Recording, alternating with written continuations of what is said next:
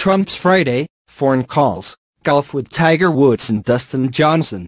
West Palm Beach, CNN, while much of America is in a post-Thanksgiving days or rushing out for holiday shopping deals, the president will be spending this Black Friday on phone calls with foreign leaders and golfing with celebrities.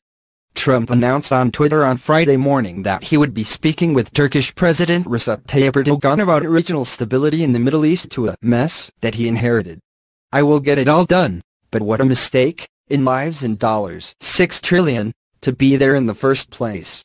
The president tweeted.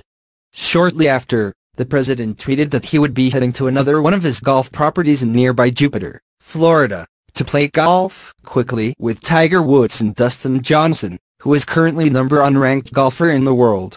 Then back to Mar-a-Lago for talks on bringing even more jobs and companies back to the USA. Trump added, Friday marks the third day in a row that the president has spent at one of his golf clubs.